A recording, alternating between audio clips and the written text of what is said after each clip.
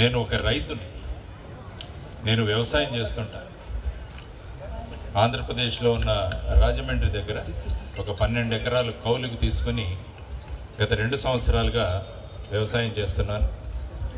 ఇప్పుడు కూడా మళ్ళా వెళ్ళాలి వ్యవసాయం పనులకి. సో ఆ సందర్భంగా ఈరోజు సంగారెడ్డికి రావడం ఎంతో గొప్ప విషయం. ఎందుకంటే మంచి మన మనుషుల్ని కలిసే అవకాశం నాకు కల్పించారు యాంతోని రెడ్డి గారు మరియు ప్రమీల గారు. సెయింట్ జేవియర్స్ స్కూల్ ఈరోజు ప్రారంభించడానికి నాకు వారు అవకాశం ఇచ్చారు. దానికి వారికి కృతజ్ఞతలు తెలియజేస్తున్నాను. ఎందుకంటే సమాజంలో ఏదైనా మార్పు తీసుకురావాలంటే అది కేవలం విద్యతో మాత్రమే సాధ్యమని నేను నమ్ముతుంటాను విద్య అన్నది మనిషిని మార్చగలదు సమాజాన్ని మార్చగలదు మనిషిని మార్చగలదు. సో అటువంటి విద్యను అందించి ఎక్కడైనా స్కూల్స్ కానీ కాలేజెస్ కానీ వెళ్ళడం నాకు మంచి అలవాటు. మా గురువు గారు అబ్దుల్ కలాం గారు కూడా అదే చెప్పేవారు.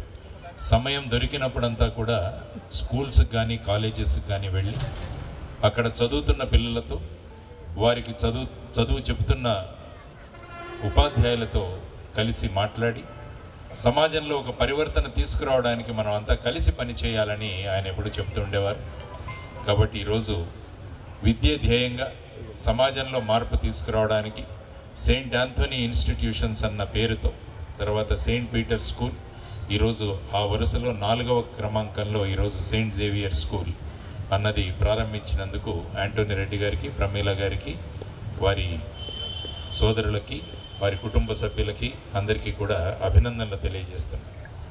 ఎందుకంటే కొంతమంది వ్యక్తులు వాళ్ళ దగ్గర డబ్బు సంపాదిస్తే ఆనందంగా ఉందాం ఇంకొక ఇల్లు కట్టుకుందాం ఇంకొక కారు కొనుక్కుందాం అని ఆలోచిస్తారు కానీ సమాజం పట్ల అభిమానం ఉన్నవాళ్ళు నేను సమాజానికి ఏ విధంగా పని చేయగలను అన్న ఉద్దేశంతో అటువంటి వాళ్ళు ఎప్పుడు కూడా విద్యా సంస్థలను తెరుస్తుంటారు. మీరు చూసినా కూడా మన చరిత్రలో చూసినా కూడా మున్షీ గారు అని ఉన్నారు. ఆయన భారతీయ విద్యా భవన్స్ అని ఆయన భవన్ స్కూల్స్ తెరిచాడు ఆయన. జిడ్డు కృష్ణమూర్తి గారు ఉన్నారు. ఆయన కూడా రిషి వ్యాలీలో స్కూల్స్ తెరిచారు. రవీంద్రనాథ్ ఠాగూర్ గారు శాంతినికేతన్ సంస్థను ప్రారంభించారు. అరబిందో గారు అరబిందో స్కూల్స్ను మొదలుపెట్టారు. సో సమాజంలో మార్పు ఎవరైనా తీసుకురావాలి అన్న ప్రగాఢమైన కోరిక ఉన్న వాళ్ళు ఎప్పుడు కూడా విద్యా సంస్థను తెరుస్తుంటారు అన్నది నేను చెబుతాను. ఆ కోవకు చెందినవారు శ్రీ ఆంటోనీ రెడ్డి గారు. సో ఆ విధంగా ఆయన ఈరోజు ఈ స్కూల్ ప్రారంభించడం చాలా మంచి విషయం. సర్పంచ్ భాగ్యమతి గారు శ్రీ శ్రీధర్ రెడ్డి గారు నన్ను ఇక్కడికి తీసుకొచ్చిన శ్రీ ఫణి గారు తర్వాత ఎంతోమంది పెద్దలు ఈ కార్యక్రమానికి వచ్చారు. ముఖ్యంగా ఉపాధ్యాయులు టీచర్స్ తల్లిదండ్రులు పిల్లలు మీరందరూ కూడా ఉన్నారు. సో నేను వ్యవసాయంతో మొదలుపెట్టాను కాబట్టి వ్యవసాయం పనులకు మళ్ళీ వెళతాను నేను ఈ నెలాఖరులో. ఇప్పటికే మంచి విత్తనాలను తీసుకొని పెట్టుకొని ఉన్నాను నేను. ఆ తర్వాత క్రమంగా అక్కడ భూమిని దుక్కి దున్నాం. ఆ తర్వాత వర్షాల కోసం ఎదురు చూస్తున్నాం. ఆ తర్వాత ఆ విత్తనాలను వేసి అక్కడ చిన్నగా ఆకుమడలు వేసి అక్కడ నుంచి నాట్లు తీసి ప్రధానమైన భూమిలో వేస్తాం. ఈ ఉదాహరణ నేను ఎందుకు ఇచ్చానంటే నాకు మంచి పంట రావాలి అంటే విత్తనం బాగుండాలి నా పొలం బాగుండాలి రైతుగా నేను బాగుండాలి. ఈ ముగ్గురు కలిస్తేనే మంచి పంట వస్తుంది నాకు. అదేవిధంగా సమాజం కూడా ఒక మంచి సమాజం కావాలి అంటే విత్తనం మన విద్యార్థులు. ఆ తర్వాత మంచి భూమి మన ఇల్లు. ఆ తర్వాత మంచి రైతు అన్నవాళ్ళు ఉపాధ్యాయులు. ఈ ముగ్గురు చక్కగా ఉంటే ఏ విధంగా పంట బాగా పండుతుందో ఆ విధంగా సమాజానికి ఉపయోగపడే పిల్లలు బయటికి రావాలి అన్నది నేను కోరుకుంటున్నాను అనమాట కాబట్టి ఈ ముగ్గురు కూడా చాలా ముఖ్యమైన విషయాలు. సపోజ్ విత్తనం బాగుండి భూమి బాగాలేకుంటే రైతు బాగాలేకుంటే కూడా పంట రాదు. విత్తనం బాగుంటే బాగులేకుంటే మంచి పంట కూడా రాదు. కాబట్టి ఈ మూడు ఎప్పుడైతే బాగుంటాయో అప్పుడు మంచి విద్యార్థులు సమాజంలోకి వస్తారని నేను అనుకుంటాను చాలామంది తల్లిదండ్రులు ఏమనుకుంటారంటే మేము పిల్లల్ని స్కూల్కి పంపించేస్తున్నాం మా పని అయిపోయింది. అది తప్పు. ఎప్పుడైతే మనం ముగ్గురం కలుస్తామో అప్పుడే బ్రహ్మాండమైన విద్యార్థి తయారవుతాడు. చరిత్రలో కూడా చూడండి అనేక ఉదాహరణలు ఉన్నాయి మన దగ్గర. డాక్టర్ అబ్దుల్ కలాం గారు ఉన్నారు మనందరికీ తెలిసిన వ్యక్తి. ఆయన వాళ్ళ తల్లిదండ్రులు వాళ్ళ గురువులు వీళ్ళ ముగ్గురు కలిసి బ్రహ్మాండంగా పనిచేశారు కాబట్టి ఒక అబ్దుల్ కలాం తయారయ్యారు దేశానికి. స్వామి వివేకానందుల వారు. ఆయన వాళ్ళ తల్లిదండ్రులు విశ్వనాథ్ దత్త గారు భువనేశ్వరి గారు వాళ్ళ గురువు రామకృష్ణ పరమహంస. వీళ్ళ ముగ్గురు కలిశారు బ్రహ్మాండంగా పనిచేశారు ఒక వివేకానందుడు దేశానికి వచ్చాడు అందువల్ల ఎక్కడైతే ముగ్గురు బ్రహ్మాండంగా పనిచేస్తారో డాక్టర్ బాబాసాహెబ్ అంబేద్కర్ గారు. అంబేద్కర్ గారు వాళ్ళ తల్లిదండ్రులు వాళ్ళ గురువు ఈ ముగ్గురు బ్రహ్మాండంగా పనిచేశారు ఒక డాక్టర్ అంబేద్కర్ మనం చూడగలిగాం. అందువల్ల అటువంటి సమాజానికి ఉపయోగపడే విద్యార్థులు కావాలంటే అటువంటి పౌరులు కావాలంటే మనం ముగ్గురం కూడా కలిసి పని చేయాలి అని మనం ఆలోచించుకోవాల్సిన అవసరం చాలా ఉంది. సో ఆ విధంగా మనం అంతా కలిసి పని చేద్దాం. ఇంతకు ముందే అన్నారు మార్కులు ఎన్ని వస్తున్నాయి ఇవన్నీ. అందుకనే ఈరోజు నేను చూశాను సెయింట్ జేవియర్స్ వాళ్ళు ఏం పెట్టారంటే స్ట్రైక్ ఫర్ ఎక్సలెన్స్ అని పెట్టారు. Strike for excellence. Strikes for success అని పట్టలేదు ఆంటోనీ గారు. Strike for excellence. సక్సెస్కి ఎక్సలెన్స్కి తేడా ఏంటి? అది కూడా మనం గమనించాలి. సక్సెస్ అంటే మార్కులు ఎక్సలెన్స్ అంటే మార్పులు. ఈ రెండిట్లో ఈ విషయం ఉంటుంది. కాబట్టి సెయింట్ జేవియర్ స్కూల్ ద్వారా యాంథోనీ గారు సాధిస్తున్నది ఏంటంటే విద్యార్థులలో మార్పులు తీసుకువస్తానని చెప్పేసి ఆయన జేవియర్ పెట్టారు. జేవియర్ అన్న పదం కూడా మీరు ఒక్కసారి చూస్తే డిక్షనరీలో జేవియర్ అంటే కాంతి. బ్రైట్గా ఉన్నదాన్ని జేవియర్ అంటాం. అఫ్ కోర్స్ సెయింట్ జేవియర్ గారి గురించి మీరు చదవచ్చు. ఆయన గొప్ప మహానుభావుడు స్పెయిన్లో పుట్టాడు ఆయన కాబట్టి ఈ విధమైన మార్పులతో ఒక విద్యార్థిని బయటికి తీసుకొద్దామన్నది మనందరి యొక్క కోరిక. ఇప్పుడే అన్నారు మంచి డాక్టర్లు కావాలి అని చెప్పి. సో నీట్లో మా పని చెప్పాడు సెవెన్ ట్వంటీకి సెవెన్ ట్వంటీ వచ్చాయి అని చెప్పేసి. సపోజ్ రేపు ఈ డాక్టరు బ్రహ్మాండంగా చదివి నాకు అవసరం లేని టెస్టులు కూడా రాసి నా బిల్లు పెంచాడు అనుకోండి. ఆ డాక్టర్లో కేవలం మార్కులు సంపాదించాడు కానీ ఆ డాక్టర్లో మార్పులు రాలేదని నేను అనుకుంటాను రేపు ఒక విద్యార్థి బ్రహ్మాండంగా చదివి ఐఏఎస్ ఐపీఎస్ చదివి కలెక్టర్ అయ్యాడు ఎస్పీ అయ్యాడు. అయిన తర్వాత లంచాలు తీసుకోవడం మొదలుపెట్టాడు. అతను కేవలం సక్సెస్ అయ్యాడు కానీ ఎక్సలెంట్ అవ్వలేదు అతను. అతను విజయం సాధించాడు కానీ మార్పులు అతనిలో రాలేదు.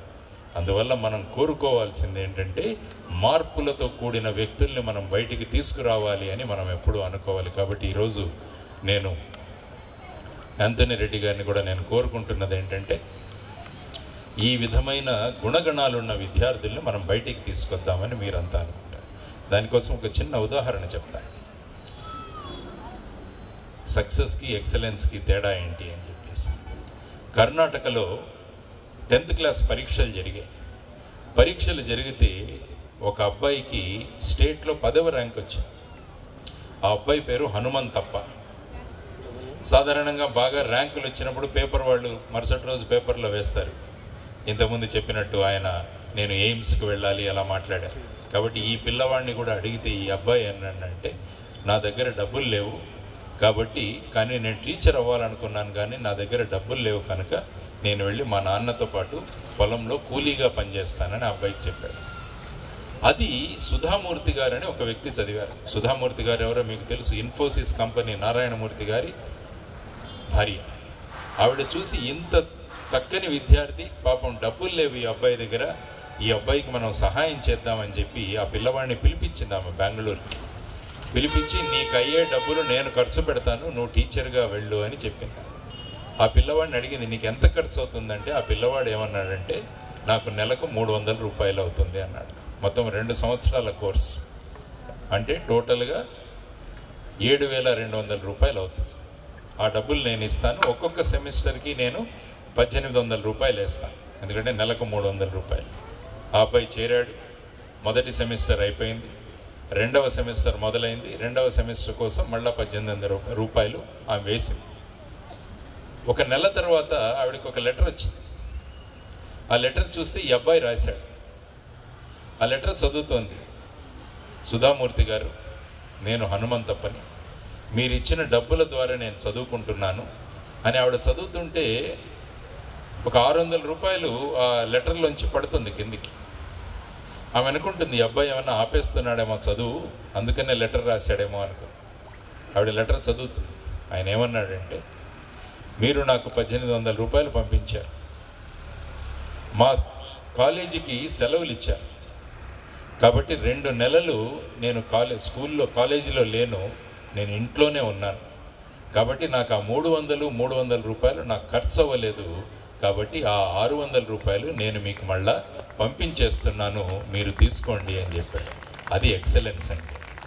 అది ఎక్సలెన్స్ అండి. సక్సెస్ఫుల్ అబ్బాయి నో డౌట్. టెన్త్లో పదవ ర్యాంక్ సంపాదించాడు స్టేట్కంతా. కానీ ఈ ఆరు వందల రూపాయలు తిరిగి ఇవ్వడం అన్నది ఆ పిల్లవాడిలో వచ్చిన మార్పు. అదే ఎక్సలెన్స్. కాబట్టి నేనేం కోరుకుంటున్నానంటే ఇప్పుడు రోజు పేపర్లు తిరగేస్తుంటే అమ్మా నాన్నలను వృద్ధాశ్రమానికి పంపించే పిల్లలు అమ్మా నాన్నలను చంపేస్తున్న పిల్లలు ఎటువంటి నేరాలు ఘోరాలు మనం చూస్తున్నామంటే మరి వీళ్ళందరూ కూడా ఎక్కడో స్కూల్లో చదివారు కదా? ఎక్కడో కాలేజీలో చదివారు కదా. మరి ఎందుకు వీళ్ళు ఈ విధంగా ప్రవర్తిస్తున్నారని మనల్ని అనుకోవాలి. దానికి ప్రధానమైన కారణం ఏంటంటే స్కూల్స్ కాలేజెస్ కేవలం మార్కుల మీద మాత్రమే వాళ్ళు ఇంట్రెస్ట్ తీసుకుంటున్నారు. మేము పాఠం చెప్తాము రివిజన్ చేస్తాము సెప్టెంబర్కే సిలబస్ కంప్లీట్ చేస్తాము పదిసార్లు రివిజన్ చేస్తాము వాళ్ళకు బ్రహ్మాండంగా మార్కులు తీసుకొస్తాము. కానీ రేపు ఇటువంటి విద్యార్థులు తయారవుతున్నారు సమాజంలో. అందువల్ల ఎక్సలెన్స్ కోసం పనిచేసే సంస్థ ఇది. అందుకనే ఆయన రాసుకున్నారు స్ట్రైవ్ ఫర్ ఎక్సలెన్స్. కాబట్టి నేను కోరుకుంటున్నది ఏంటంటే రేపు సమాజంలో ఎక్కడో ఒక చోట బాంబేలో అద్భుతంగా ఒక ఆఫీసర్ తయారయ్యాడు. ఆ ఆఫీసర్ ప్రజల కోసం పనిచేస్తున్నాడు అంటే ఆ పిల్లవాడి స్టోరీ చదివితే ఆ పిల్లవాడు సెయింట్ జేవియర్ సంగారెడ్డిలో చదివాడు అని కనపడాలి రేపు మనకు. ఆ విధమైన విద్యార్థి మనకు కావాలి. రేపు ఈ కాలేజ్ ఈ స్కూల్ నుంచి చదివిన వ్యక్తి రాజకీయ నాయకుడిగా మారితే ఆ రాజకీయ నాయకుడు ఎలా ఉండాలంటే ప్రజలను ప్రాణంగా చూసుకునే రాజకీయ నాయకుడుగా మారాలి. ఆ ఈ స్కూల్లో చదివిన వ్యక్తి ఒక డాక్టర్గా మారితే ప్రజలందరూ నేను దేవుణ్ణి కలవడానికి వెళ్తున్నానని ప్రజలు చెప్పుకోవాలి అటువంటి డాక్టర్గా మారాలి. అందువల్ల అటువంటి మార్పులతో గనక మనం విద్యార్థులను తయారు చేయగలిగితే సమాజం ముందుకు వెళుతుంది. బ్రహ్మాండమైన సమాజం మారుతుందన్నమాట. అటువంటి సమాజాన్ని మనం సృష్టించలేకుంటే ఏమవుతుందంటే మనం అందరి జీవితాలు కూడా చాలా ప్రమాదంలో పడబోతున్నాయని మీకు చెప్తాను సో ఇది కేవలం పరీక్షలను పాస్ చేయించడానికి స్కూల్స్ పెట్టడం లేదు ఇక్కడ. ఒక వ్యక్తిని పూర్తిగా మార్చడానికి పెడుతున్న సంస్థలు ఇవి అని మనం ఎప్పుడైతే గమనిస్తామో అప్పుడు మనం అంకిత భావంతో పనిచేస్తాం. కాబట్టి ఇక్కడ ఉన్న టీచర్లందరికీ నేను కోరుకుంటున్నది ఏంటంటే మీరు ఎప్పుడు కూడా సిలబస్ కంప్లీట్ చేశామని ఎప్పుడు మాట్లాడకండి. నా విద్యార్థులను రేపు సమాజానికి ఉపయోగపడే వాళ్ళుగా నేను తయారు చేశానని మీరు మాట్లాడండి. అప్పుడు చూడండి ఈ ఇన్స్టిట్యూట్ పేరు ఎంత చక్కగా మారుతుంది. ఆ విధంగా ఆలోచించండి. తర్వాత తల్లిదండ్రులకు నేను కోరుకుంటున్న ముఖ్యమైన విషయం. కొంతసేపు పిల్లలు స్కూల్లో ఉంటారు కానీ చాలాసేపు మీతో ఉంటారు. కాబట్టి మీరు ఏ విధంగా మాట్లాడుతున్నారు అన్న దాని మీద మీ పిల్లల మీద ప్రభావం ఉంటుంది మీరు మీ తల్లిదండ్రులను ఏ విధంగా చూసుకుంటున్నారు అన్న దాని మీద మీ పిల్లల మీద ఆ ప్రభావం ఉంటుంది. కాబట్టి మీరు చేసే ప్రతి విషయము కూడా మీ పిల్లల మీద ప్రభావం ఉంటుంది. మీరు సెల్ ఫోన్లోనే ఎక్కువసేపు ఉంటే మీ పిల్లలు సెల్ ఫోన్లోనే ఉంటారు. మీరు ఎక్కువసేపు టీవీలు చూస్తూ ఉంటే మీ పిల్లలు కూడా టీవీ చూస్తారు. అందువల్ల పిల్లలను మార్చి కనడం ఒక ఎత్తైతే వాళ్ళను మంచి పిల్లలుగా తయారు చేయడం అన్నది కూడా తల్లిదండ్రుల బాధ్యత అని నేను గుర్తిస్తాను. మేము స్కూలుకు పంపించాం స్కూల్ వాళ్ళ బాధ్యత అని ఎప్పుడు అనకండి. మీ బాధ్యత అది అని మీరు నచ్చు కాబట్టి పిల్లలతో కొంత సమయాన్ని మీరు వెచ్చించండి. పిల్లలతో పాటు కూర్చోండి. వాళ్ళు ఇంటికి వచ్చినప్పుడు వాళ్ళతో మాట్లాడండి. వాళ్ళు ఇంగ్లీష్ మీడియం సార్ మాకు తెలియదు అనద్దు ఇంగ్లీష్ మీడియము తెలుగు మీడియంలో ఏమీ తేడా లేదు. మేమంతా కూడా తెలుగులో చదువుకున్న వాళ్ళమే. కాబట్టి మాకు తెలుగు మీడియము ఇంగ్లీష్ మీడియం అన్న భావాలు రాకుండా మీకు పాఠాలతో మీకు సంబంధం లేదు. తల్లిదండ్రులకు పాఠాలతో సంబంధం లేదు. వాళ్ళ ప్రవర్తనతో సంబంధం ఉంది అని నేను ఎప్పుడు చెప్తానన్నమాట. కాబట్టి విద్యతో పాటు వినయం రావాలి చదువుతో పాటు సంస్కారం రావాలి. సంస్కారం లేని చదువు అవసరం లేదు. వినయం లేని విద్య కూడా అవసరం లేదు. కాబట్టి ఈ విధంగా ఆలోచిస్తూ మీరందరూ కూడా పిల్లలతో సమయం కనపడండి చాలామంది అంటుంటారు మాకు సమయం లేదు అని చెప్పి. దానికోసం ఒక చిన్న కథ చెప్తాను. ఒక ఇన్స్పెక్టర్ ఉండేవాడు. ఆ ఇన్స్పెక్టర్ చాలా బిజీగా ఉండేవాడు. ఆ పిల్లవాడికి వాళ్ళ నాన్న ఎప్పుడొస్తాడో తెలియదు వాడు నాన్నను చూడాలి నాన్నతో పాటు కొంతసేపు మాట్లాడాలి అనుకుంటాడు ఆ పిల్లవాడు కానీ నాన్న దొరకట్ల. వాడు అమ్మను అడుగుతాడు ఆ పిల్లవాడు అమ్మ నాన్నకి జీతం ఎంత వస్తుంది అంటే ముప్పై వేలు జీతం వస్తుందిరా అని చెప్తాడు. అంటే వాడు లెక్కేస్తాడు. ముప్పై వేల జీతం అంటే ముప్పై రోజులు అంటే రోజుకు వెయ్యి రూపాయలు. ఆ పిల్లవాడు పోగు చేసుకుని ఉంటాడు డబ్బు ఏడు వందల యాభై రూపాయలు ఆ పిల్లవాడు హుండీలో వేసుకొని భద్రం చేసుకుని అదంతా లెక్క పెడితే ఏడు వందల యాభై ఉంది. వాడు వాళ్ళ నాన్నని ఎలాగైనా కలవాలని మెట్ల మీద కూర్చొని ఉంటాడు. వాళ్ళ నాన్న రాగానే నాన్న నాకు రెండు వందల యాభై రూపాయలు ఇస్తావా? అంటాడు. వాళ్ళ నాన్న కోపం వస్తుంది వీడేంటి నన్ను డబ్బులు అడుగుతున్నాడని? వాళ్ళ అమ్మ అంటుంది ఉదయం నుంచి రెండు వందల యాభై ఇవ్వండి ఇవ్వండి అని అడుగుతున్నాడు వాడికి ఇచ్చేయండి అంటాడు. సో రెండు వందల యాభై రూపాయలు జేబులో ఉన్నది తీసిస్తాడు. వాడు ఆ రెండు వందల యాభై తీసుకొని లోపలికి వెళ్ళి వాడి హుండీలో ఉన్న ఏడు వందల యాభై తీసుకొని మొత్తం వెయ్యి రూపాయలు తెచ్చి వాళ్ళ నాన్న చేతిలో పెడతాడు. పెట్టి నాన్న నీకు రోజు వెయ్యి రూపాయలు వస్తుంది కదా నేను ఇస్తున్నాను వెయ్యి రూపాయలు. నాతో ఒక్క రోజు నాతో గడుపు నాన్న అని ఆ పిల్లవాడు వాళ్ళ నాన్నని అడుగుతాడు. కాబట్టి పిల్లలు ఇది కోరుకుంటారు మన దగ్గర నుంచి. తల్లిదండ్రుల నుంచి పిల్లలు కోరుకునేది ఏంటంటే మాతో పాటు మా తల్లిదండ్రులు సమయం గడపాలి అని. టీవీ చూస్తూ సమయం గడపడం అది సమయం కాదు. వాళ్ళతో పాటు సమయం గడిపేయడానికి మీ టైం తీసుకోండి అని నేను చెప్తాను. ఆ విధంగా తల్లిదండ్రులు ఈ విధంగా ఉపాధ్యాయులు ఆ విధంగా విద్యార్థి వీళ్ళందరూ కలిసి గనక మనం పని చేయగలిగితే రేపు దేశానికి ఉపయోగపడే పౌరులు తయారవుతారు అన్న ఉద్దేశంతోనే నేను స్కూల్స్కి కాలేజెస్కి వెళుతుంటాను వెళ్ళి అక్కడ విద్యార్థులను కలుస్తుంటాను ఉపాధ్యాయులను కలుస్తుంటాను తల్లిదండ్రులను కలుస్తుంటాను. మనం ముగ్గురం కలిసి పని చేద్దామని వారందరికీ చెబుతుంటాను. అందులో భాగంగా ఈరోజు కూడా మీకు చెబుతున్నాను. కాబట్టి ఎప్పుడు సక్సెస్ మాత్రమే సరిపోదు ఎక్సలెన్స్ దిశగా వెళ్ళాలి. కాబట్టి మార్కులు మార్కులు మార్కులు అన్నది కాకుండా మార్కులతో పాటు పిల్లలను బ్రహ్మాండంగా మార్చాలి అన్నది నేర్చుకోండి పిల్లలలో క్రమశిక్షణ ఉండడం కూడా చాలా అవసరం. చక్కని క్రమశిక్షణ ఉండాలి. ఏదైనా తప్పు జరుగుతున్నప్పుడు పిల్లలకు మీరు చెప్పండి. ఇది సరి అయినది కాదు అని వాళ్ళను సర్దాల్సిన అవసరం కూడా మన మీద ఉంది. ఒక తల్లి పిల్లవాడు చిన్నప్పుడు ఉన్నప్పుడు వాడు పక్కింట్లోంచి తోటకూర తీసుకొచ్చి ఆవిడకి ఇస్తాడట. ఆ తల్లి చాలా ఆనందించి అని బ్రహ్మాండంగా తోటకూర చేసుకొని తింటుంది. వాడు అలాగే అటు ఇటు తీసుకొచ్చి తెచ్చి పెడుతూ ఉండేవాడు. వాడు పెద్ద గజ దొంగగా మారుతాడు.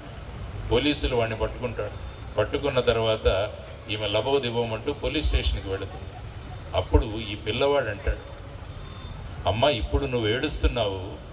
నేను మొదటి రోజున తోటకూర దొంగతనం చేసినప్పుడు నువ్వు అది తప్పురా అని నాకు చెప్పింటే నేను మంచివాడిగా తయారయ్యేవాడిని ఈ విధంగా గజ దొంగగా తయారయ్యే ఉండేవాడిని కాదు అని ఆ పిల్లవాడు అంటాడు. అంటే ఎక్కడైనా తప్పు జరుగుతున్నప్పుడు దాన్ని సరిదిద్దడం అన్నది మన బాధ్యత. ఎందుకంటే ఈ పిల్లవాడు మీ పిల్లవాడు కావచ్చు కానీ రేపు మీ గడప దాటిన తర్వాత వాడి సమాజంలో ఒక పౌరుడిగా మారుతాడు. కాబట్టి సమాజంలో వాడి ప్రవర్తన ఎలా ఉంది అన్నది మనం ఇంటిలో వాడిని ఏ విధంగా తయారు చేశామన్న దాని మీద ఆధారపడి ఉంటుంది. కాబట్టి ఒక బాధ్యత కలిగిన తల్లిదండ్రులుగా చక్కని విద్యార్థులను చక్కని పిల్లలను సమాజానికి ఇచ్చే బాధ్యత నాది అని ఎప్పుడైతే తల్లిదండ్రులు అనుకుంటారు ఒక సమాజానికి ఉపయోగపడే విద్యార్థిగా తయారు చేయాలని ఎప్పుడైతే టీచర్స్ అనుకుంటారో ఉపాధ్యాయులు అనుకుంటారో అప్పుడు ఏమవుతుందంటే ఒక గొప్ప సమాజం మనం తయారు చేయగలం. కాబట్టి ఈరోజు ఈ సందర్భంగా మరి ఒకసారి శ్రీ అంతని రెడ్డి గారికి ప్రమీల గారికి మొత్తం స్టాఫ్కి నేను అభినందనలు తెలియజేస్తున్నాను. నా ఒకటే ఒక కోరిక. పేపర్లో సెయింట్ జేవియర్స్లో చదువుతున్న పిల్లలు ఆదివారం రోజున సంగారెడ్డిలో చిన్నగా పరిశుభ్రత కార్యక్రమాన్ని చేపట్టారు అని పేపర్లో కనిపించాలి సెయింట్ జేవియర్స్లో చదువుతున్న పిల్లలు సమాజానికి ఉపయోగపడే ఏదైనా పని చేశారు అటువంటి విషయాలు చదువుతుంటే ఎంతో ఆనందంగా ఉంటుందని కాబట్టి సాధారణంగా నేను వచ్చిన తర్వాత ఆ స్కూల్స్ ఏం చేస్తున్నాయన్నది కూడా నేను గమనిస్తుంటాను కాబట్టి రాబోయే రోజుల్లో సెయింట్ జేవియర్ స్కూల్స్తో పాటు Saint Antony schools and also Saint Peter school మీరంతా కలిసి ఒక బెంచ్ మార్క్ని క్రియేట్ చేయండి. అంటే ఒక పాఠశాల ఎలా ఉండాలి అంటే సెయింట్ జేవియర్స్ లాగా ఉండాలి అని మొత్తం తెలంగాణలోనే చెప్పుకునే విధంగా మీరు దాన్ని తయారు చేయగలగాలి ఆ విధంగా ఆలోచించండి. చక్కని మైదానం ఉంది ఇక్కడ. ఇది కూడా చాలా ఆనందమైంది నాకు. పిల్లల్ని ఆ- ఆడించండి. ఎందుకంటే ఆటల్లో పిల్లలు చాలా విషయాలు నేర్చుకుంటారు. ఆటలు ఆడని పిల్లలకి ఆటలు ఆడే పిల్లలకి చాలా డిఫరెన్స్ ఉంటుంది తేడా ఉంటుంది. కాబట్టి ఆ విధంగా పిల్లలను ఆడిస్తూ పిల్లల్లో ఉన్న గొప్ప గుణగణాలను బయటికి తీసుకొచ్చి వాళ్ళందరినీ కూడా మంచి పౌరులుగా తయారు చేస్తూ మీరు ఏదైతే స్ట్రైవ్ ఫర్ ఎక్సలెన్స్ అనుకుంటున్నారో ఒక మార్పు తీసుకొచ్చే దిశగా సమాజంలో మీ విద్యార్థులు ఉండాలని మీరు కోరుకుంటున్నారో ఆ దిశగా మనం అందరం కలిసి పనిచేద్దాం. విద్యార్థులలో కావాల్సిన తొమ్మిది లక్షణాలు ఏంటి అన్నవి కూడా నేను మీకు పంపిస్తాను నేను.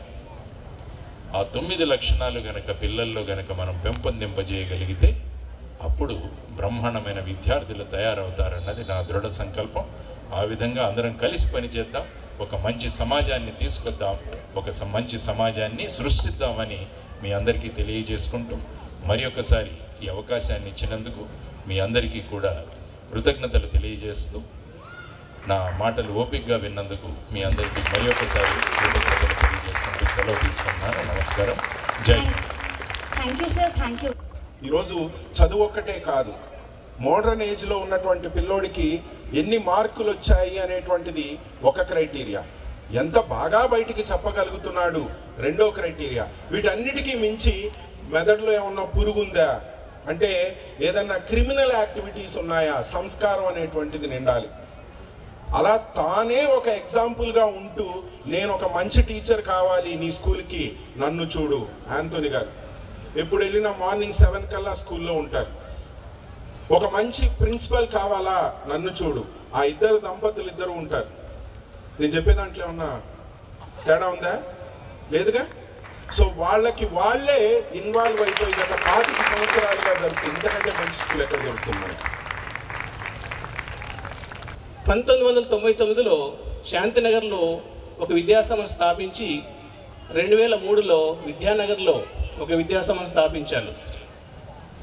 ఆ తర్వాత ఈ రెండు స్కూళ్ళ మధ్యలో దూరం ఉంది కాబట్టి అంటే పేరెంట్స్కి దగ్గరికి రావాలనే ఉద్దేశంతో సెయింట్ పీటర్ స్కూల్ గణేష్ నగర్లో స్థాపించాం. మరి ఇంకా ఏదో ఆశ ఇంకా ఇక్కడో పేరెంట్స్ సదాశివపేట పేరెంట్స్ అయ్యా మేము అంత దూరం నుంచి ఇక్కడికి రావాలి. మరి మా దగ్గర వస్తే కూడా మాకు ట్రావెల్ టైం తగ్గుతుంది మా పిల్లలకి మంచి విద్య అందుతుంది. సో అలా రెండు వేల పదిహేనులో సెయింట్ పీటర్ స్థాపించిన తర్వాత నాలుగు సంవత్సరాల తర్వాత ఇదే రోజున సెయింట్ ఆంథోనీస్ సదాశివపేటలో పాఠశాల ప్రారంభించడం జరిగింది. మరి మళ్ళీ నాలుగు సంవత్సరాల తర్వాత మన మల్కాపూర్ గ్రామంలో అంటే ఇక్కడ ఈ ప్రాంత ప్రజలందరికీ పేరెంట్స్కి ముఖ్యంగా తల్లిదండ్రులకి దగ్గరగా ఉండి ఎక్కువ సేవలు అందించాలనే ఉద్దేశంతో మరి ఈ పాఠశాలను ఈరోజు స్థాపించడం జరుగుతూ ఉంది.